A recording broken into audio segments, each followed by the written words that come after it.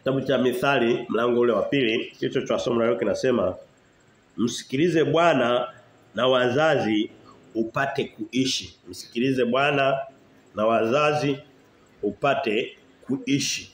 Eh tumesomewa mistari iko iko ishirini na miwili kitabu cha Mithali. Mithali na mistari mingi mingi e, e, mis, kama tulivyosema ina sura ziko 31 milango 31 eh lakini kila mlango unakuwa na mistari mingi mingi mingi mingi lakini huu kidogo 22 sio mrefu sana kwa hiyo naamini tutamaliza kwa wakati E, kama tulivyosema kitabu cha Mithali ni kitabu kinachotufundisha namna ya kuishi maisha katika maisha ya kawaida tu. Sio mambo ya kiroho sana. E, ni njia za hekima kui, jinsi ya kuenenda katika dunia hii tukimpendeza Mungu. Na ukichunguza vizuri uh, tutakuwa tuenda kuona hii hoja hizi uh, hoja. Lengo la kitabu cha Mithali ni kama Mungu Mungu anashughulika na mwanadamu katika ukamilifu wake. Ana anashughulika na, na, na na mwili wake, mwili wake uwe salama, uweze kula na kushiba, uweze ku, ku, kuishi bila labda magonjwa na nini. Hebu angalia kiwango cha magonjwa kinachoisumbua dunia sasa hivi. Yaani kiwango cha eh, ujuzi na maarifa ya kiafya, ya kiteknolojia ya afya. Eh, na idadi labda ya, madaktari, manesi, watu wanaotibu miili wameongezeka kweli kweli. Kweli kabisa. Eh, Nakumbuka kuna mtu alikuwa anaongelea idadi ya madaktari waliokuwa labda Tanzania wakati wa uhuru. Wanahesabu labda mmoja wawili. Sawa nchi ilikuwa haijafikisha watu milioni 60 na kitu, lakini walikuwa wengi vile vile. Lakini sasa hivi unakuta karibu kila nyumba, kila mtoto wanaenda katika hayo mambo. Lakini kiwango cha migonjwa ya hatari ina inaongezeka kila itwapo leo kana kwamba ungetegemea labda inaenda kinyume na idadi ya wataalamu wa afya na ujuzi. yani ujuzi unaongezeka na ufahamu lakini magonjwa ya hatari ndivyo yanaendelea kuongezeka zaidi katika jamii. Eh. Sasa unaweza kujiuliza sababu ni nini? Mojawapo ndio hiyo ni kwamba na sio mojawapo ni sehemu kubwa. Dunia inaendelea kuliwa na dhambi. Inaendelea kukosa hekima ya kimungu. Kwa hiyo hata kama hata kama watu wote watasomeshwa wata, wata kama daktari, wataendelea kuugua visukari. Wataendelea kuparalyze kansa zitawala ya kutosha tu. Eh, hata kama wote wangekuwa ni madaktari watupu, kila mtu akaweza kujitibu. Bado bado ni mapenzi ya Mungu uh, na mfano leo tumia ni kama kitabu hiki cha Mithali, jinsi ya kuenenda na kutulinda. Ndio sababu kichwa cha somo la leo kinasema msikilize Bwana, unaanza na Mungu. Na ukibahatika kuwa na mzazi au mlezi au mtu yote yule ambaye ana, ana, ana mtu yote anayekulisha ukala ukashiba, ndio huyo huyo umsikilize kwa habari za maelekezo vile vile. Eh, kama mtu ana jukumu la kukulisha na ku, ukala ukashiba, ukaingia na kutoka, huyo huyo ndio anakuwa tunachukulia ndo mzazi wako. Eh, uwasikilize hawa wawili ndio Biblia inasema kwenye mlango wa pili. Na, ni, ni kitabu karibu chote cha Mithali, lakini maalum kwenye mlango huu wa pili ili kusudi upate kuishi. Uweze kuishi. Kwa hiyo kitabu cha Mithali kimelenga kama ni mapenzi ya Mungu, kimelenga zaidi katika kupambana na mazingira ya, ya mwili wa mwanadamu. Yaani ile sehemu ya mwili wa mwanadamu. Eh afya yake, e, moyo wake, una, yani uzima wake wa mwilini. Alafu unakuja kwenye vitabu kwa mfano kama kitabu labda cha Yohana au zile injili za Yesu karibu zote. Lakini tuchukulie Yohana anakuwa anapambana na roho ya mwanadamu, wokovu. Eh kwa hiyo Mungu anavichukulia vyote. Kwa mfano amechukua hata kwa mfano kuna kitabu kwa mfano kitabu kinaitwa kitabu cha wimbo ulio bora, The Song of Solomon. Eh, kinafundisha namna ya ya maisha ya ndoa ya watu wanavyoweza kuongea maneno ya upendo katikati yao, yani maisha tu ya kimwili ya kawaida. Huwezi ukatafuta neno la wokovu mle ukalikuta. Sio mambo haya. Kwa hiyo Mungu anashughulika na vitu. Kuna vitabu, kitabu kama cha Mithali hiki hiki, hiki na vitabu vingine. Kwa mfano kama kitabu kinachofuata cha cha um, Ecclesiastes. Sio chake nini? Mhubiri. Mhubiri kinafundisha bidii, maisha ya bidii. Eh, hakifundishi tamaa. Maisha leo hii watu wanaamini kwamba maisha ya ufanisi ni, ni ile kuweza kupata vitu kwa njia ya tamaa na ujanja ujanja hapana. Kuweka bidii kutumia mikono yako, akili zako na viungo viungo vyote ambavyo Mungu amekupa ili kusudi uweze kuji eh kujihifadhi na kujitosheleza mahitaji chini ya baraka za mkono wa Mungu. Kwa hiyo ndio kwa hiyo tunaviangalia vyote. Leo tuko kwenye mithali. Kwa hiyo Biblia inasema eh kumsikiliza Bwana. Kwanza anayeanza ni Bwana. Katika hali ya kawaida, niko na, na, naweka utangulizi. Katika hali ya kawaida neno la Mungu, maneno ya Mungu, maonyo ya Mungu, maelekezo ya Mungu ndiyo alitakiwa mzazi au yule anayekulisha yule mlezi au anakuambia. Lakini wewe nikwambie sasa hivi sio sio automatic. Unaweza kukuta mzazi anampotoa mtoto wake sasa. Ni. Lakini katika hali ya kawaida ndio ingetegemewa hiyo. Wewe niulize, mnyama sana akimzaa mtoto sana mlinda na mtuza vizuri, si ndio? Ndio sio? Lakini kuna wanyama wanakula watoto wao wenyewe. Eh, anamzaa kishamaliza kumzaa namla. Sasa hivi imefika kwa binadamu pia. Lakini tuchukulie kwamba bado mzazi au mlezi tuchukulie ndiye mwenye ana, anafata njia zile zile ana, ana, anasimama katika nafasi ya kukuongoza katika kumkaribia Mungu. Eh, tuchukulie hivyo. Hawa wasio wa kawaida ambao na wanaongezeka. Ninawajua wazazi anayemfundisha mtoto wake kuvaa mavazi ya kikahaba. Wapo.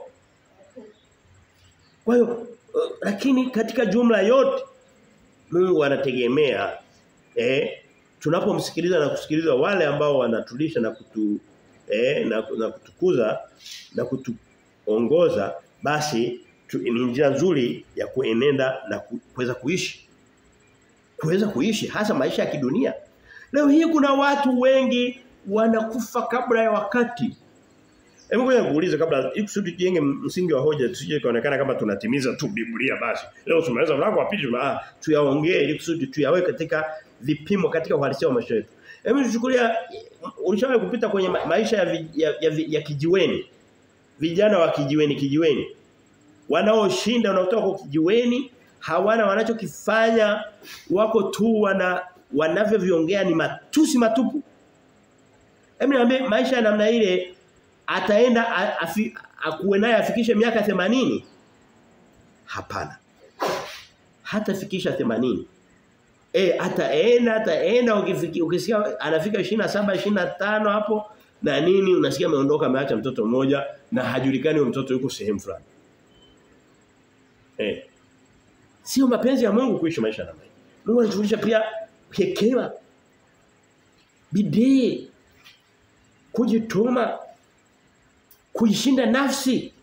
Maneno kama hayo kushinda marafiki wabaya kushinda vishawishi vitakuja. Vishawishi vinakuja kweli kweli. Na vishawishi mtu mwingine anasema vishawishi vina vishawishi vinawaangalia watu wote. Wakubwa kwa wadogo Yesu mwenyewe alijaribiwa alifanywa vishawishi eh haikujalisha kwamba ana ujuzi ana ufahamu ni Mungu katika mwili lakini naye alijaribiwa. Eh. Emtende katika katika ile mistari sasa. E, kwa hiyo tumeona zile hoja. e, e, ile kitu cha somo kinachosema kumsikiliza na na wewe mzazi mtu anaweza kama uko hapa huna mzazi. Unajua kumwona baba, unajua kumwona mama.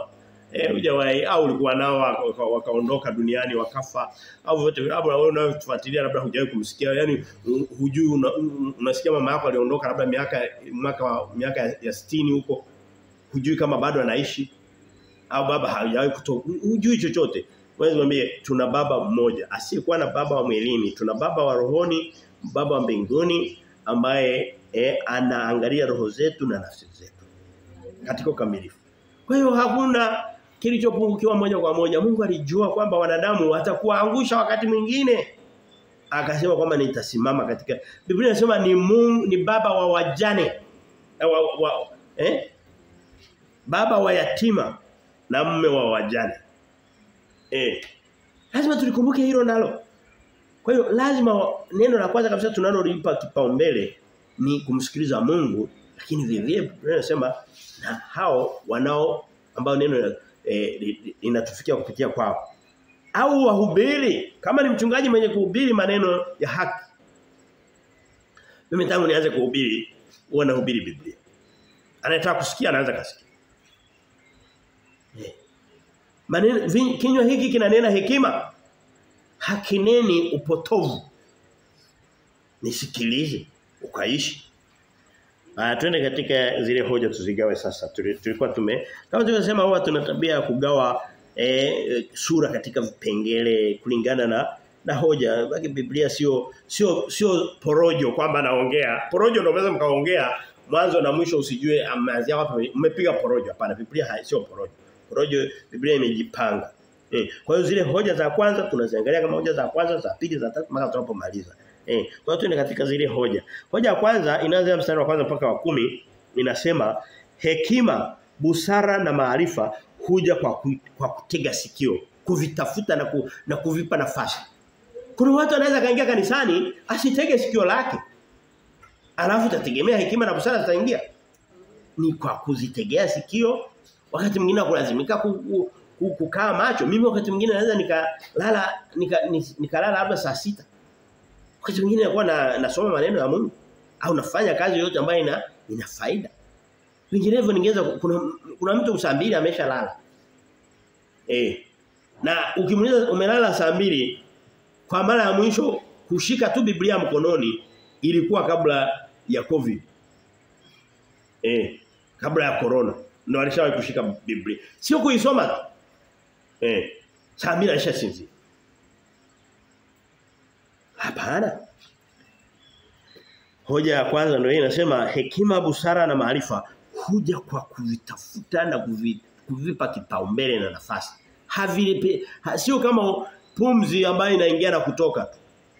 Eh, vina vinapewa kipaumbele, vinatafutwa na kuheshimiwa. Vi, usipovipa hiyo nafasi vinakupita, vinaenda kwingine. Naamshe mdogo wako. Wewe unafanya hivi. Haya, tuanze na mstari wa kwanza nasema hivi, mwanangu eh, mwanangu kama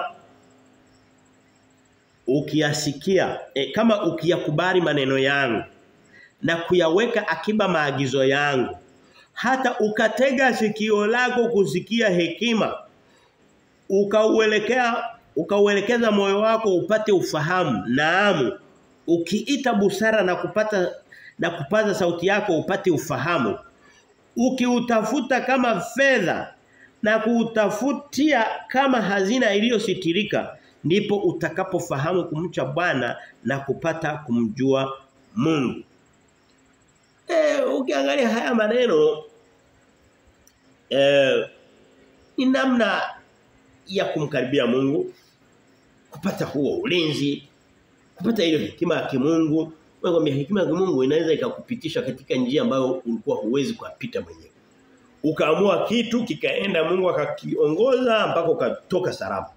Unapitia katika hali kuna njia hata kumi nipite hii nipite hii nichague hiki nisome hiki nifanye Mungu akakupitisha kile ulichochagua ukakuta kimekuongoza mpaka ukatoka salama. Eh. Kwa hiyo anasema kama ukiyakubali maneno yangu ni watu wangapi wanakubali maneno ya Mungu kwa hiyo tunachukulia anaposema mwanangu maneno yangu tunachukulia kwamba ni mzazi, ni mlezi, labda ni mchungaji, ni mhubiri anayenena maneno kwa niaba ya kinywa cha Mungu. Kwa hiyo mwisho utakuta ni Mungu anaongea lakini anatumia kinywa cha mwanadamu. Kwa hiyo Mungu ni nani wewe kumsikia Mungu akiongea wazi wazi. Lakini tumesikia maneno ya Mungu mara nyingi kupita kwenye vinywa vya binadamu. Eh. Hata ukatega sikio lako kusikia hekima kwanza anasema na kuyaweka akiba maagizo yangu. Kuweka akiba ni nini? Kitu ambacho ni, ni cha akiba ni kitu ambacho kipo cha kutosha. Hivi unaweza kaweka kwa mfano unaweza kuwa na shilingi 1000 ukawa unaweka na akiba wakati una 1000. Hapana, huna hela hutapata akiba. Lakini kama una kitu cha kutosha unatumia leo kingine inakuwa ni akiba. By the way ni maisha mazuri kuwa na akiba. Lakini unaweza kuweka akiba kitu kwa mfano unapata 500 kwa siku. Utasema ah ninapata 500 ngoja nijiwekee akiba ya mwakani. Upate uwezo. Kwa hiyo ni vitu ambavyo umepata vya kutosha mpaka ukawa na uwezo kuviweka akiba. Maana yake unavitunza. Na kitu ulichokitunza kama akiba ni kitu muhimu kwako. Akiba ni kitu muhimu. Eh. Hata ukatega sikio lako kusikia hekima. Kwa hiyo unaona kwamba ni, ni, ni, ni usikivu. Kwa mfano hata shuleni. Kama mtoto sio msikivu wa neno wa mafundisho ma, ma, masomo eh ya walimu hatafanya vizuri. Miongoni mwa vitu vinavyofanya watoto wafeli masomo yao ni kutokuwa wasikivu. Basi unakuta mtoto kwa haja hajalelewa katika misingi ya usikivu. Ni mtu tu mtukutu mkorofi lakini ana vipawa vizuri tu kutoka kwa Mungu lakini sio msikivu. Masomo yote yanakuwa yanapita juu ya kichwa chake. Vivyo hivyo neno la Mungu ni la kusikiliza vile. Eh, anasema hivi, hata ukatega sikio lako kusikia hekima ukauelekea ukauelekeza moyo wako kupata ufahamu. Yaani manake moyo wako, jamani moyo moyo una tabia ya kuzunguka dunia nzima. Nani ananielewa? Ni kama mawazo. Eh. Unaweza ukao uko hapa, moyo uko Mwanza, uko uh, uko dukani unafanya shopping, moyo wewe uko hapa lakini moyo umeshakuacha. Eh. tunasema kuelekeza moyo wako sehemu nzuri. Tuna tabia pia ya kucontrol mawazo yetu. Sehemu nyingine anasema katika kitabu cha Korinto wa kwanza eh ana wakuta wa Yes, wa kwanza wa, wa, wa pili mlango wa kumi Mstari ya tatu pale. Anasema tukiteka kila mawazo yote ma, na kuyaelekeza kwa Kristo. Tuna tabia pia ya kuchagua mao, kitu cha kufikiri. Kitu cha kutafakari. Eh. Anasema uelekeza moyo wako upate ufahamu, upate kufahamu. Naamu, ukiita busara na kupaza sauti yako upate ufahamu. Hapa hana maana kwamba usimama useme busara njoo hapa. Ah, anataka kusema kwamba kitu unachokiita ni kile kitu ambacho unakihitaji. Kuita ni kama kuhitaji. Ukaonyesha Uka, kiu. Uka sio sio kuhitaji na kukaa sehemu moja ukasubiri kikukute. Ah, kifate. Kama ni kanisani tembea mpaka huko kanisani. Kama kuna sehemu yanakopatikana mazuri kama chochote kile. Ni pamoja kwa mfano wako utafuta Biblia. eh, tafuta Biblia uwe nayo. Eh, ni kama kuiita huko, njoo na kuhitaji. Eh. Kwa hiyo ni lugha Biblia Biblia mara nyingi hasa hivi vitabu kama vya Mithali. Ukisoma vitabu kama vya Mithali na kitabu cha kabla yake Zaburi na hata kitabu cha kabla ya Zaburi cha Ayubu na hata baada ya Mithali kitabu kama eh, mhubiri imekaa kaa kama tenzi tenzi fulani na mistari yake imekaa kama nyimbo nyimbo unaweza kuziimba eh kwa hiyo anatumia lugha kama ya ki ya ki eh ya kisanii au ya ki shairi kama washairi wanavyoongea. Kwa hiyo anatumia lugha ya, ya picha na taswira. Eh unakumbuka tulipokuwa ah okay ninyi watoto wa shule za msingi za leo. Sisi wakati tunasoma zamani kidogo tuko na kitabu kinaitwa kina, kina kitabu kitabu cha Kiswahili kina kitabu cha mwanafunzi. Darasa la sita. Tujifunze lugha zetu. Hapo sasa naanza kukumbuka vitu nilikuwa navipenda sana. Yani nasikia kama nasisimuka. Kwa kuna mashairi darasa tujifunze lugha zetu lugha yetu darasa la sita kwa kuna shairi la la la, la ndege huyu ndege gani? Eh Ninaye ndege mzuri mlembo wa kupendeza. Ana, ana, anasema ana rangi nne za kupendeza. Niambie ndege ndege huyu ni ndege gani? Asubuhi anaruka mtini jioni anashuka baadaye unagundua kwamba ah ni bendera ya taifa. Asubuhi inapanda kama ndege alafu na rangi nne na rangi zile ni fifanulie nini. Ili kwa hiyo unasikia vitu vizuri vile. Sawa. Kwa hiyo hata vitabu kama hivi vimekaa kiushairi shairi. Lakini vinafundisha maarifa. Nakwambia wakati unasoma hayo mashairi ulikuwa unajifunza vitu vingi sana kuhusu tunu za taifa. Unavisoma vizuri mpaka unaviweka kichwani mpaka leo. Naweza nikwambia ilikuwa ni sura ya ngapi ya, ya kile kitabu. Naweza kusomea sura za kitabu cha darasa la 4, sura ya kwanza, sura ya pili mpaka kwa sababu unaweka moyo vile. Okay, na natoa mfano kwamba kama tulivyo kutoka bidii kwa mambo ya dunia. Sasa bahati mbaya leo hii hata hata hivyo vya kidunia basi huvikuti vimewekwa kichwani sana. Karudi baba mmoja toka safari ya mbali. Mafumbo yale ukisoma yalivyokuwa yameandikwa hayana tofauti na kitabu cha Mithali. Sasa ngoja turudi kwenye neno la Mungu. Nimesha entertain vya kutosha, okay? Sawa. Kwa hiyo unaona kwamba anatumia lugha ya, ya, ya picha, lugha ya kishairi, lugha ya ki anaitwa poetic language, lugha ya kama ya kishairi shairi. Lakini kufikisha ujumbe eh na, ma, na kama nilivyosema mkumbuke nisema kitabu cha Mithali ni kama Mungu anashughulika na mambo ya mwilini zaidi. Huwezi kuingia kwenye mambo ya ushairi ushairi ukiwa unaongelea wokovu wa uzima wa milele. Hapana. Pale ananyoka moja kwa moja. Eh. Amini amina kwambia yeye alisikia neno langu eh na kuamini moyoni ataokoka. Hapo sasa unakuwa sasa umetoka lugha ya kimwili mwilini unaingia kiroho. Amina na mtu asiyezaliwa mara ya pili hawezi kuona ufalme wa mbinguni. Hapa na nyoka. Mambo ya rohoni amenyoka nyoka. Ya mwilini kidogo anaweza kaingia katika ushairi na nini lakini ujumbe unafika. Eh eh eh, eh tusogee kidogo, tusogee kidogo. Eh tuko kwenye mstari ule wa wa, wa tatu. Ukipata ukiita busara na kupaza sauti yako upate ufahamu. Yani kuweka bidii na kuonyesha na ku, ku, kuonyesha kiu. Jamani ndugu za nyie mnaonisikia hasa watoto watoto na na na, na, na, na mabinti mlioko wakubwa wakubwa kidogo eh? Na wana sisi watu wazima tuwe na tabia ya kuwa na kiu na mambo ya Mungu. Eh kuwa na kiu ya mambo ya Mungu Hivi ulishawahi kupata kiu kali sana kali afu unakunywa maji unasikia matamu kama yana sukari, si ndio? Eh, ladha ya maji inategemea kiu ulio nayo. Ladha ya chakula inategemea kiu na njaa ulio nayo. Biblia inasema heri wenye njaa na kiu ya haki. Katika kitabu cha Mathayo mlango wa 5. Eh, kwa maana ufalme wa mbinguni ni wao. Mungu anapenda tuwe na njaa na kiu ya mambo ya Mungu. Njaa na kiu ya busara zitokazo kwa Mungu. Njaa na kiu hivi ukiwa na njaa unaweza kwa mfano ukiwa na njaa unaweza ukatembea kwa miguu tuko hapa mbele. Unaweza kwenda ubungo kwa miguu kwenda kutafuta chakula ndio sio? Kwa sababu una njaa si ndio? Je kama una shibe utaenda? Hapana Mungu anatutaka twende popote panapowezekana. E, kwa sababu tuna kiu na njaa ya haki ya mambo ya Mungu. Nakwambia, haya ndio maneno yako unaweza kuyasikia duniani. Ni haya. Sio mengi. Utayapata. Ningekuwa hapa naongea kama, "Hey mjo hapa ni kuombe." Eh nakupiga na kamweleka kidogo, na kusukuma na kichwa, unaonga chini alafu anakuja na nguo anakufunika funika, alafu nakwambia mweka ka sadaka kako Mungu ameshakutendea. Uongo umeshakabilika wote. Na ndio asilimia karibu tisini ya mikanisa ya wanadamu yale. Alafu wanatafuta kupona.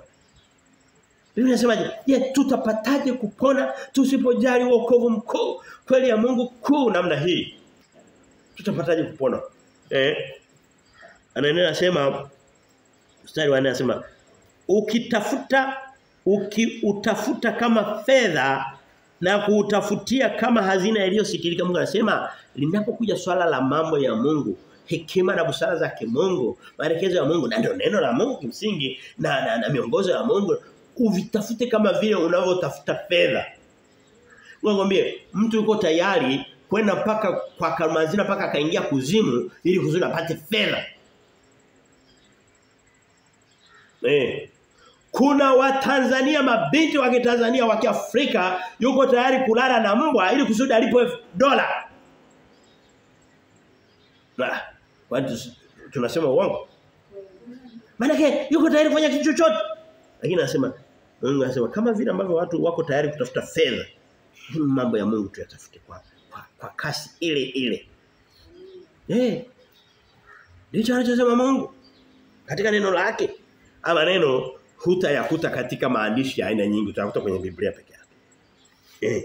Ndipo anasema ukitafuta kama fedha Mstari wa 5 anasema ndipo utakapofahamu kumcha Bwana na kupata kumjua Mungu. Uh, watu wengine ni vigumu sana kutofautisha eh, hekima, ufahamu, mambo haya yatoka eh, hayo tulikuwa tunaongelea hekima, ufahamu, busara, kuenenda katika njia za usalama na nini.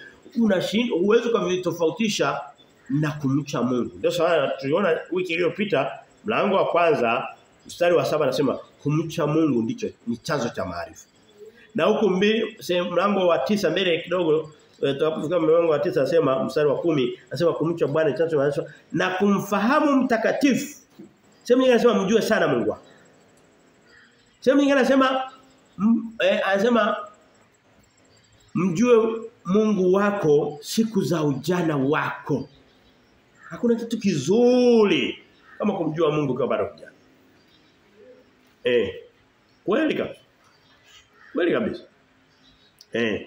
Wewe anasema ndipo utakapofahamu kumcha Bwana na kupata kumjua. Kwa hiyo kuna uhusiano kati wa haya yote tunayosema hekima, busara, ulinzi wa Mungu uwepo. Baadaye hii sura itabadilika kidogo hapa mbele, ianze kuongelea matokeo ya busara hekima mambo na vyote hivyo na ulinzi na kufanikiwa kutoka kutoka kwa Mungu na nini leo hii kuna watu wengi wamefanikiwa lakini sio kwa jinsi ya kimungu unamkuta amefanikiwa lakini ni kwa sababu amevalishwa pete ametoa kafara na ni wengi. Leo hii naamini sijafanya sio eneo langu sijafanya utafiti wote lakini nikiaminishwa na naamini katika roho asilimia zaidi ya hamsini labda tunaongelea mpaka sabini labda mpaka themanini ya biashara hazifanyiki bila mtu ku, ku, ku, eh, kuiuza nafsi yake kwa shetani kupata uvuvio wa shetani kupewa mapete kupewa eh, ni vitu gani? Hebu tukumbushane lugha inayotumika mbali na pete. Eh hirizi. Wengine wanaziita ndumba. Leo hii hukuti familia zimetulia mpaka mwanaume ameshafanywa ndondocha ndo kidogo wanakaa pamoja. Kidogo wanakaa pamoja. Hapana. Eh. Anaendelea anasema kwa hiyo huwezi kutofautisha haya mambo yote ya kimungu na kumcha Mungu kwa sababu muda wote by the way Mungu anataka tuwe na ufahamu wa mambo na na, na hekima. Ufahamu wa mambo ni nini? Sio kujua vitu vingi, vitabu, sio jiografia na nini. Ni pamoja na kufahamu jinsi ya kuenenda katika maisha uka, ukaweza kuwa na ufahamu wa kuzalisha fedha ukapata mahitaji yako. Ukara unachokihitaji. Ndio ufahamu. Eh. Huo ndio ufahamu. Unafikiri kwa nini watu wanaenda kwenye mashule na mavyuo kukaa muda mrefu na kujifunza funza? Sana sana wanakuwa wanafanya ili kusudi. Sio kusudi wafahamu vile vitu. E, niko hapa nataka nijue kisiwa cha Moldova, nchi ya Moldova iko sehemu gani? Haitoshi. Lakini atavisoma. Lakini end mwisho wake anakuwa anataka uh, ule ufahamu uweze kumlisha na kumshibisha na kumtosheleza na kumlinda. Mtu asikuonee. Sio rahisi kumuonea mtu mwenye ufahamu. Lakini mtu asiye na ufahamu ni rahisi kabisa kuonewa na chochote kile. Yes. Lakini vile vile kutofautisha ule ufahamu na uchamungu. Uchamungu ni nini? Hofu ya Mungu. The fear of the Lord. Hofu ya Mungu kumcha Mungu kumcha mtu lugha ya Kiswahili kidogo wakati mwingine kuna vitu vingine ni vigumu kuvielewa maana yake. Lakini unasema kumcha Mungu Kiswahili chake ni ndo hofu ya Mungu. Fear of the Lord. Kushika njia zake, kushika amri zake, kuenenda katika neno lake, kuishi maisha ya ki, ya, ki, ya, ki, ya, ya kikanisani. Leo hii kwenda kanisani ni kwenda kuonyesha vipawa vyetu na miili yetu na nguvu zetu na nini na nini na vaji wetu na nyimbo zetu. Yaani kama kama social area. Sehemu za kwenda kufanyia mambo ya kijamii haina ubaya. Kutafuta maisha ya kisosho social kanisani lakini zaidi sana ni sehemu ya kukutana na Mungu wetu. Ndio. Eh. Eh, anakuja tunaendelea mstari ule wa wa, wa sita. Eh, kwa hiyo tumeona kwamba akasha tumeona ni tumeona kwamba ni katika kiu, katika kutafuta, katika ku, ku, ku, ku, kutoa kipaumbele eh kuvitafuta vinavyopatikana, kutafuta kuliko kama tunavyotafuta fedha au zaidi ya fedha ndipo kumtafuta Mungu na kumcha Mungu na hofu ya Mungu. Eh na kuendelea. Twende mstari wa anasema hivi, kwa kuwa Bwana huwapa watu hekima kinywani mwake hutoka maarifa na ufahamu huwa na ufahamu huwawekea wanyofu akiba ya hekima kamili. Wanyofu. Unyofu ni nini? kwenda Wewe kwambie hii dunia leo mwanadamu wa kawaida kabisa. Tena ambaye sio kusema kwamba ni kibaka ni jambaza au ni ni ni, ni, ni, ni muhuni muhuni wa mtaani.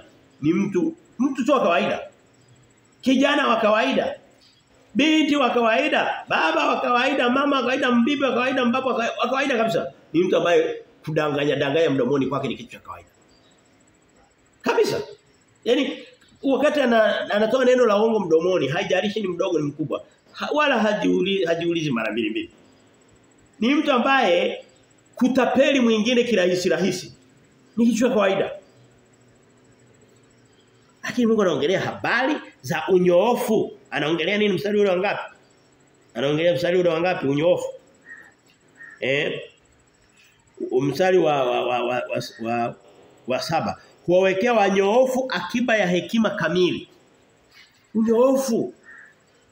Dunia ya leo pia inachukizwa na unyoofu. Unyoofu ni pamoja na kusema kweli. Wewe kusema kweli sio tu kuongea eh, bila bila bila kizibo mdomoni. Tulishasema kanuni za kuongea. Eh, sihitaji kuzirudia leo.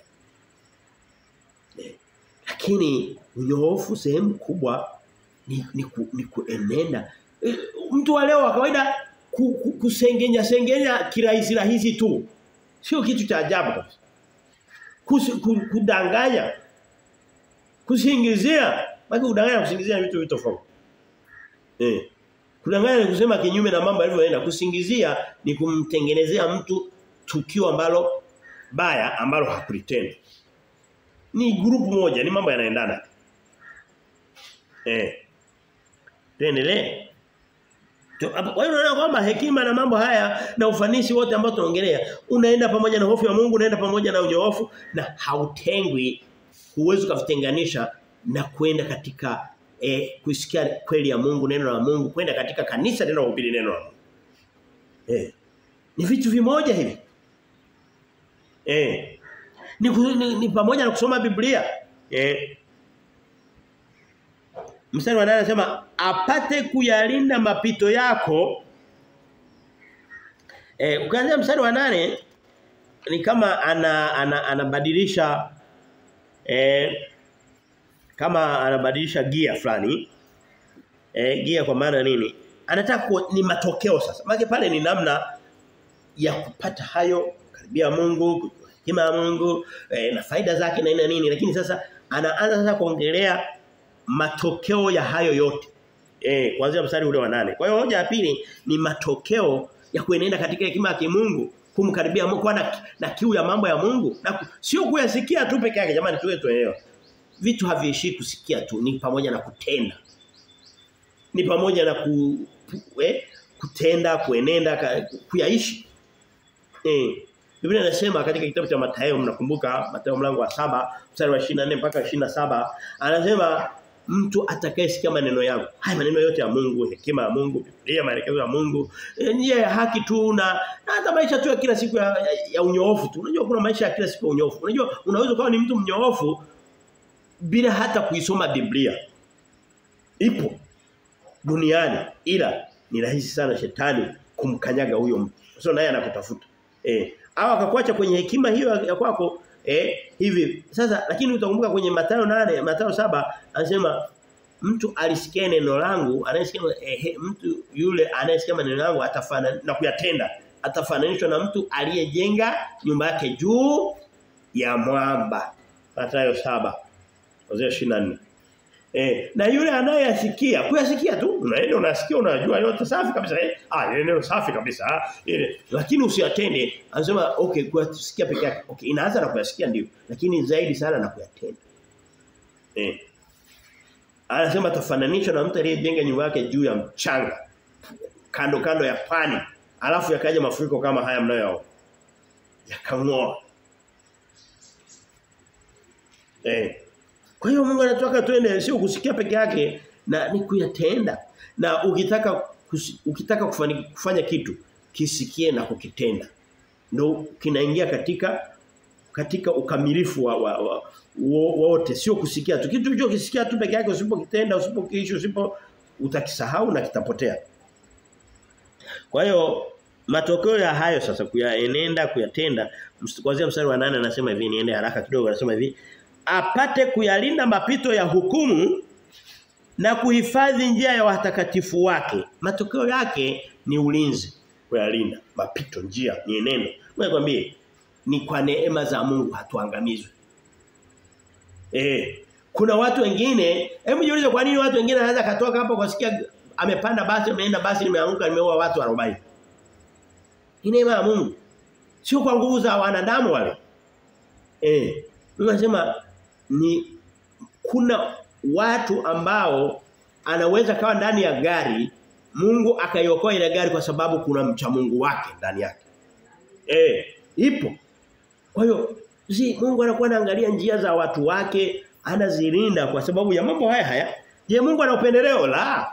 Wote amewaumba sawa, wote kawapa moyo huo, kawapa damu nyekundu, kawapa nini? Lakini huyu anaenenda katika mapenzi ya Mungu. Eh? Apate kuenea mapito ya hukumu na kuhifadhi njia ya watakatifu wake. Anaposema watakatifu anamaanisha watu wanaoenenda katika mapenzi ya Mungu. Eh, je, watakatifu wakosea wanakosea? Asikosea ni mmoja tu ni Mungu. Lakini wengine wanakuambia baba mtakatifu hakosei. Umekuwa Mungu wa wapi? Bahati mbaya sana. Mstari wa ngapi? Wa wa wa, wa, wa wa nane wa tisa ndipo utakapofahamu haki na hukumu na adili na kila njia njema ma eh hata anarudia yale adili uadilifu. Uadilifu. Uadilifu ni nini? Uadilifu ni nini? Ni njia sahihi. Ni neno sahihi. Eh mstari wangapi wa, wa, wa twende wa, tu, tuipitie yote hii haraka haraka. Anasema mstari wa 10 anasema hivi maana hekima itaingia moyoni mwako. Sasa baada ya kuitafuta ile hekima, busara, maneno ya Mungu, maelekezo ya Mungu, e, njia za Mungu zitaingia mioyoni mwetu. Na zikiingia moyoni zinaingia katika miili yetu, katika matendo yetu. Anasema maana hekima itaingia moyoni mwako na maarifa yata yatakupendeza nafsi yako. Kwanza hakuna kitu kizuri kama kupenda mambo ya Mungu. Yatakupendeza nafsi yako. Yako. Watu wengi hawapendezwi na mambo ya Mungu. Ndiyo Mambo ya Mungu wakati mwingine kama nilivyosema yanaweza kama magumu. Lakini hata mambo ya dunia ni magumu eti. Eh? Inaweza ikawa ngumu kuyaishi maisha ya ndoa ya kimungu, lakini vile vile ndoa ya kidunia nayo ni ngumu vile. Eh, imejawa na usaliti. Imejawa na uchawi. Imejawa na limbwata, imejawa na vipigo, imejawa na ulevi, imejawa na uchafu, imejawa na utengano. Kwa hiyo nayo sio nyepesi vile vile. Eh. Anaendelea anasema mstari ule wangapi? Wa 11 anasema busara itakulinda. E, anasema ma, mstari wa 10 anasema maana hekima itaingia maoni wako na maarifa yatakupendeza nafsi yako. Busara itakulinda. Unaona nani nani nani, nani ni muombea ulinzi wa Mungu kwenye mashati? Tafuta busara ya Mungu. Kwa sababu busara ya Mungu Mungu anakulinda kwa, kwa busara za kimungu. Eh, busara itakulinda. Ulinzi wa Mungu wakati mwingine mambo yatoka kwa Mungu mazuri sio ya kutamka tamka pana, ni namna ya kuyaishi kuenenda katika maelekezo ya Mungu. Eh, watu wote ambao wanataka biashara zao zi, zi hebu nenda kaweke sadaka yako alafu njoo hapa nikusukume. Na watu wanapenda uongo wa namna hiyo. Eh, kitu cha shida kweli kweli, matatizo hayo. Eh, busara itakulinda busara kuna moja, ufahamu utakuhifadhi, kulindwa kuhifadhi. Bali Na kuombea Mungu akuhifadhi katika uhai wako. Katika njia zako. Eh, lakini ukiwa umejenga msingi katika mambo ya Mungu. Eh. Hivi majambazi nani anaombea majambazi Mungu ayahifadhi? Ya, ya, ya baki salama yaishi miaka sabini 80 akiwa anaendelea na ujambazi. Jinsi hofu zitapotoka lakini tunataka wale wa nani anapenda ma, ma, ma, wale ma, makahaba ya, ya yaishi salama muda mrefu. Yaani wauza madawa ya kulevya. I, yote hayo ndo yani dhambi moja na matokeo yake mabaya na nyingine na nyingine. Watu tunaoombea na Mungu neno la Mungu nataka wahifadhiwe. Ni watu wanaenda katika njia ya adili na unyoofu na adili za kimungu. Eh Hebu ngoja niulize, unaweza kukuta mtu ni kiongozi, amepewa amepewa dhamana ya kuongoza watu, lakini anatumia uongozi wake kujinufaisha, watu wanakufa njaa. Yeye ndo anashiba. Unakuta mtu ana ana, ana, ana, ana, gari la kwake, ana gari la mke wake, ana gari la watoto wake, ana vitu vingi, alafu vyote vimetoka kwa watu wanaoongoza. Huyo mtu huwezi kumwombea adumu milele. Hey, ili kuokoa njia ya uo ku, anasema kuhifadhi busara zile za Mungu ili kukuokoa na njia ya uovu. Unaona kwamba mara nyingi kitu kinachotulinda kinachotuwinda na kututesa na kutu, na kutupeleka katika maangamizi ni uovu. Eh anasema kukuokoa na njia ya uovu. Uovu jina lake jingine nini? Ni dhambi. Kimsingi eh eh kukuokoa njia ya uovu eh na watu wanenao yaliyopotoka. Hebu nikwambie, nenda katika ma, nenda nenda katika zile saruni za kike. Wanaamka asubuhi, wanasuka sukana wanaingia wateja na wateja wao ni kama wateja wa kudumu Leo amesuka hivi kesho amengoa amefusuka vile kusudi tu wanashinda wanaongea maneno yaliyopotoka. Yaliyopotoka. Nenda katika vijiwe vya vijana. Vijiweni tu, kijiweni tu. Hata akosea apite binti pale. Binti anayepita pale kijiweni hawezi akamaliza mwezi mzima salama. Kwa sababu kuna maneno ya upotofu. Eh tutaendelea. Mstari kumi 10 kukuokoa na njia uovu na watu wanenao maneno ya kutoka. Jamani, ngoja nikufundishe ndugu yangu. Mengine ninaenda mengi mengine ninaenda moja kwa moja direct kwa, kama ujumbe wa kuondoka nao. Ujumbe wa kuondoka nao. Hem jifunze kujiepusha kusikia maneno ya upotofu. Na sio lazima ya mdomoni peke yake, mengine yako kwenye simu. Mengine yako kwenye vijiwe vya mita. Vijiwe vya sasa hivi viko wapi kwenye magrupu? Eh. Eh.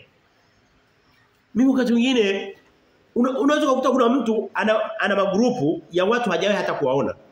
Magrupu sijui ya wa, ya grupu la la, la wauza vyombo sijui vya vifaa vya mtaani. Grupu la wakimbia marathon. Grupu sijui la watu tu sijui watu wa, wa ma, marafiki wa Diamond. Marafiki wa Simba. Na yani humo humo ni ni ni uchafu. Ni uchafu. Of course huwezi kuepuka magrupu yote. Mfano kama mimi naweza nikaa na group la mtaani kama ambapo tunaishi. Kwa taarifa za na mara nyingi bahati nzuri group la mtaani halina halina upuuzi. Eh. Halina upuuzi. Inaweza kukaa hata bila taarifa yoyote ya kipuuzi puuzi. Watu walikuwa wanaenda upuuzi puuzi tukaweka sheria tukaka. Kuna magrupu kwa mfano la kazini magrupu kama mawili ya kazini au matatu manne matano labda grupu la kazi lote la baadhi ya makundi makundi. Humo kwa mfano kuna magrupu ya kazini yamejawa takataka. Unaji kila siku napiga mahesabu nitoke ni baki siku nyingine kunapita taarifa labda umepata taarifa mtu amefiwa ambapo unatakiwa useme ya msiba ule humo umo unaingia watu wengine waliokimbia wao wamevaa vichupi chupi wanakuonyesha wanao walivyo yani mpaka unaoshindwa mtu unamwona amevaa suti kesho yako unamwona amevaa kichupi chupi unajisikia vibaya. Alafu anataka umheshimu ni mtu mzima umwambie shikamo au kama ni kijana mwenzako umwambie habari. Au mzee mwenzako vitu ambavyo vitakuwa. Ni shida. Lakini mengine Mungu anasema sikuombe siwaombee watoe duniani bali uwalinde na yule mwovu. Yohana mlango wa 17 Kuna sehemu nyingine hutatoka. Labda ni mwanafunzi kuna grupu la darasani utaachaje kuingia? Lazima utaingia huko. Lakini kuna magrupu mengine. Grupu la la watu wanaotokea kwa fulani. Labda na grupu la kabila fulani. Grupu la siyajui kwa sababu sinayo mengi. Lakini niliwahi unaweza kuyaona mengine yako Facebook. Eh. Na hiyo ni mbadala tu ni, ni kuna magrupu sasa vijio vya mtaani eh.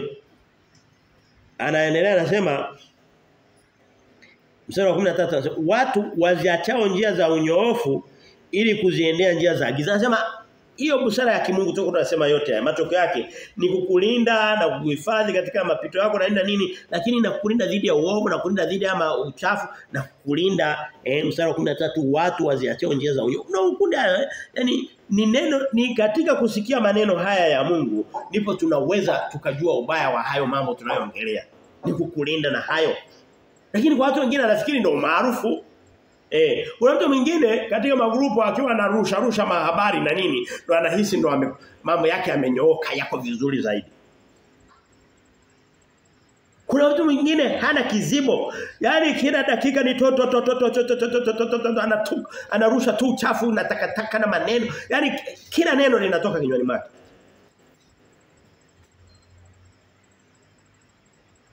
Eh Jamani, huo ujumbe tuondoke nao. Jirin, ujumbe kuondoka nao unasema nini? Ji, kujiepusha na maneno na na, na, na vishawishi vya njia za waovu. Maneno yao, mashauri yao, e, kijiwe. Biblia inasema heri mtu yule asiyeenenda katika njia za wasio haki wala hakusimama katika makusanyiko ya waovu ya wakosaji wala hakukaa katika eh, eh, eh, Zaburi ya kwanza. Zaburi ya kwanza, hem tusome ule mstari. Eh, tusome, tusome ni nina muda sijausoma kwa hiyo sijaukariri sana tena. E, ni muda anasema heri mtu yule asiyekwenda katika shauri la wasio haki wala hakusimama katika magrupu ya WhatsApp ya njia za wakosaji na vijiwe vyao wala hakuketi barazani pa wenye mizaha. Jifunze kushindana na maisha ya mizaha mizaha. Amina. Eh. Je, Mungu naomba usiondoke na ujumbe kusema kwamba nitajitenga na walimwengu. No no no no. Tuwe sehemu yao. Ila tusiwe a negative influence. Yaani tusiwe chanzo cha yani tusi, tusichochee uovu katikati ya wale wale. Usiwe katika grupu ambalo lina mambo ya kijinga na wewe ukaongea ukachangia mle ujinga. No. Na wala usijifanye kwamba unaenda kuwarekebisha. Ah ah. Tunakuja kuona kwenye mlango wa tisa Mungu anatushauri kwamba usiwape mbwa kilicho kitakatifu. Bwana usiwarushie nguruwe ruru zako. Wasije wakazikanyaga wakageuka wakakurarua. Eh. Kwa hiyo lazima tuwe na hekima ya namna ya kuenenda. Eh, mstari tunaendelea. Kwa hiyo tunaona kwamba hizi busara au nyoofu maneno ya Mungu e, na, na nisikie sauti yangu mwanangu na nini na nini vitatulinda na vya na hao. Eh habari zimeanza tena. Eh eh anaendelea anasema ili kukokoa na njia ya uovu. No twende mstari ule wa twende ule mstari wa wa 15 waliopotoka katika njia zao walio wakaidi katika mapito yao. Unaona hilo unaona haya maneno tunayoongelea waliopotoka katika nini? Mstari wa 15 katika njia zao walio wakaidi katika mapito yao. Hebu wewe kuulize wale yale makundi ya mabongo flavor maneno yao yote yamenyooka? Ni upotovu.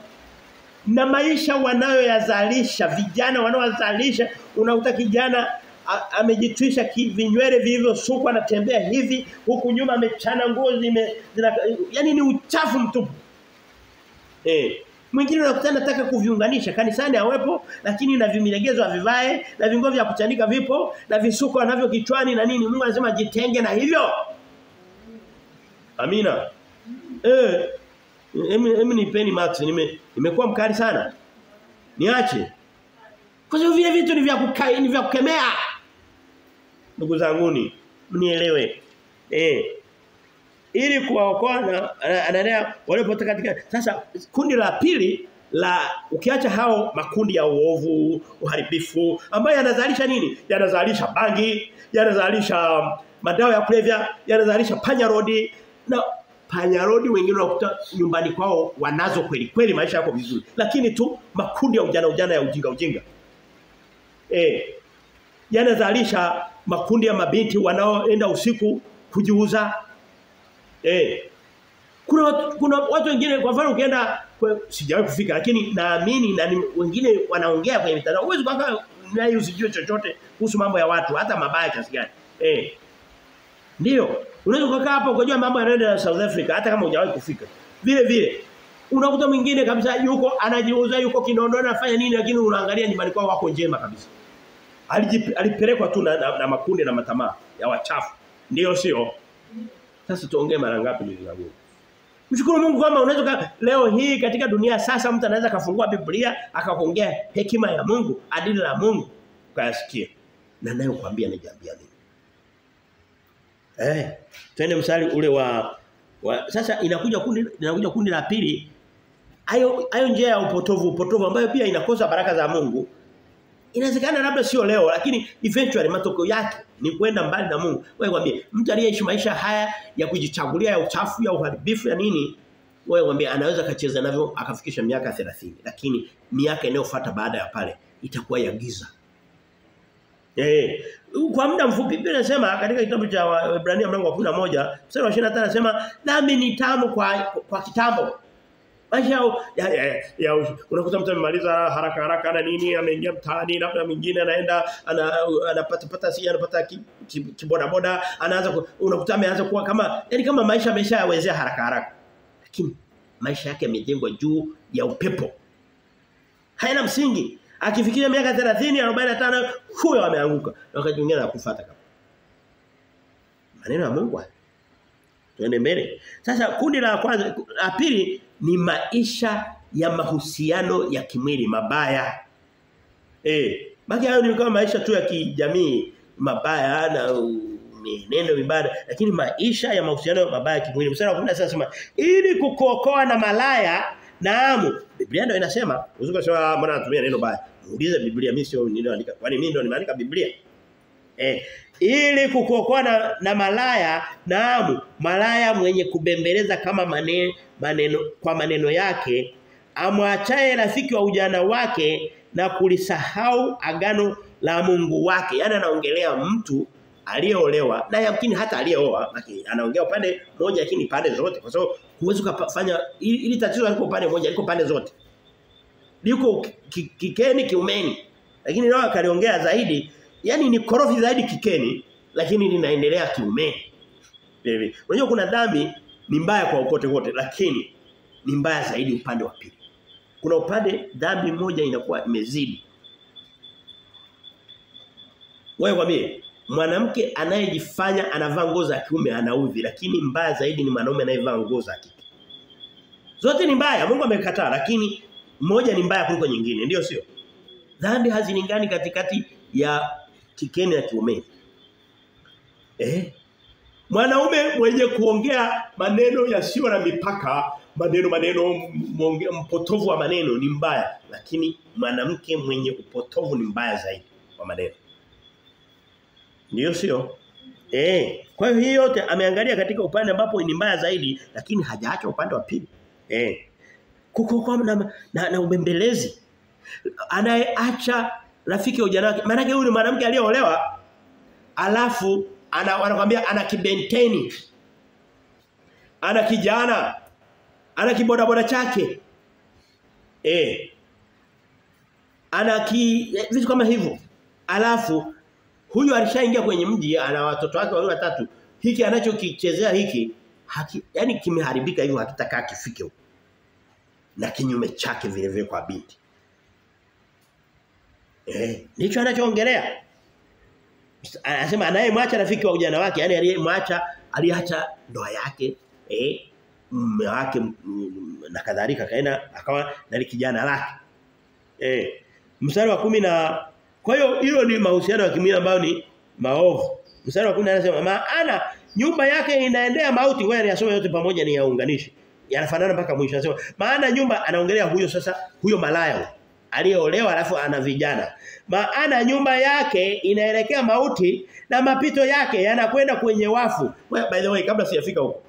Vijana wengine wakiingia kwenye mahusiano wanadhani wamefanikiwa kwa sababu anaweza kawa anapewa visenti na akafanikisha kuna mwingine mpaka mpaka anapewa gari. Anakuwa anaendesha gari la la la, la, la, la. Mwingine anaitoa chakula. Lakini Mungu anasema sikiliza mstari wa 18 maana nyumba yake inaelekea mauti. Anasema hiyo nyumba yani ukifuata ukienda moja kwa moja unaingia kwenye nyumba ya mauti. Eh. Anaenda nyumba yake inaenda ma, mauti na mapito yake yanakwenda kwenye wafu. Yaani kwamba hiyo ni kupeleka mtu ma, mautini kifoni. Katika hao wamwendeao harudi hata moja. Anakuambia mtu akishaingia kwenye hayo mahusiano hivyo ni kwamba ndo ameondoka hivi. Sitegemea aje kuwa na mji wake awe na um, kwa mfano chukulia unakuta labda kibinti kuna binti maana tulikuwa tunaangalia kiumeni twende kikeni. Unakuta binti ameolewa labda ni, ni binti alafu ana, ana mahusiano na mme wa mtu. Unategemea atakuja kuwa na mji wake? Imetoka hivyo. Hatapata wa kwake. Ndio. Na kuna wakati atafikisha miaka 40 45 hao wa kuokota hawatakuwa na mhitaji tena na tamani awe na wakwake na muda ulishapita aweza kuwa na wakwake imetoka imeondoka. Eh mstari wa 19 anasema katika hao wamendao harudi hata mmoja wala hawatazifikia njia ya uzima ili wapate kwenda katika njia ya watu wema na kuyashika mapito wenye haki. Maana yake imetoka hata rudi kwenye haki tena. Ukisha ukishaingia kwenye huo uelekeo umeondoka. Umeondoka. Eh umeondoka Mstari wa 21 maana wanyofu watakaa katika nchi na wakamilifu watadumu ndani. Bwana anawaambia kwamba ukijiepusha hayo ndio utadumu katika hayo maisha. Utaishi, utaishi. Ndio nikatoa mfano haya maisha ya ya, ya, ya, ya kijiweni ya kujiamlia sio kwamba ameingia kijiweni kwa, kwa bahati mbaya ameenda mwenyewe kwa kupenda mwenyewe. Leo hii mtoto wa Kitanzania serikali inamsomesha mpaka anamaliza form 4 na saizi wanajiandaa mpaka form 6. Lakini unakuta mtoto yuko kijiweni haendi shule afanye nini unaweza kuniambia ha, hajachagua mwenyewe? Amechagua bwana tukubaliane. Eh msema anasema bali waovu watatengwa na nchi nao wafanyao hila watangolewa. Anakuambia anaweza akapita kwa muda akafanya nini mambo lakini hatima yake atangolewa huyu kungolewa ni nini uking'oa kitu maana yake umekikatiza Eh ulikuwa labda una shamba labda la mi gomba, mahindi, ikaja mvua ikayangoa. Eh. Hayatazaa. Hayatafanikiwa. Sasa naomba nianze kujitetea leo. Usitoke hapo ukasema kwamba nimeambiwa maneno mabaya. Hapana, nakwambia maneno mazuri na sio kwangu nimefanya kuyasoma. Nimefanya kuyafafanua. Eh, na uyatamani haya, ni yatamani haya. Kila mtu hayatamani haya. Kila mtu ana nafasi yake katika hii. Mdogo ana nafasi yake, mkubwa ana nafasi yake, wakati ana nafasi yake. Ndio. Na Mungu hawezi kukuletea vitu ambavyo yaani Mungu sio sio sio katili, sio dhalimu kiasi kwamba aende akuzuilie vitu vyote vizuri alafu akuache uteseke. Ah, anakuzuia hivi lakini anajua njia nzuri anazokutengenezea. Anasema ninayajua mawazo mazuri ninayowawazia. Ule msali ambao warokole wa, wa wanataka kusikia peke yake. Eh. Wewe unatuwazia mawazo. Basi tuko tumeishia hapa kama kwa vile kitabu sio kirefu mlango sio mrefu sana. ina mambo mengi ya kusema kwa kweli. Nina mambo lakini nishaongea vya kutosha kwa leo. Basi hayo ya kutoshe. Mungu atupe neema endelee kusikia haya, kujifunza haya. Baba mimi nakushukuru kwa ajili ya neno hili, asante kwa ajili ya kutufundisha hekima na, na busara kutoka kwako. Tunajua Mungu wakati mwingine maneno mageni kwetu kabisa, ni Mungu yote yanawezekana. Uh, tunaomba msamaha tunapojikwaa, tunaomba ulinzi wako kama tani nasi pia, tunakushukuru kwa mengi uliyotutendea kama kanisa, kama mtu mmoja mmoja. Na Mungu naamini katikati yetu kuna aliyepungukiwa, aliyekatishwa tamaa, aliyeumia, aliye na majuto, aliye na majonzi. Au kuna mwingine pia na furaha Mungu yote yakawe mema. Furaha nyingi mbele zako Mungu na, na majonzi yote mbele zako. Baba ndio itakuwa ni amani yetu na ulinzi wako katufunike asante Kristo ni katika jina la Mungu. Baba na maana na mtakatifu na mimi nakupokea yote. Amen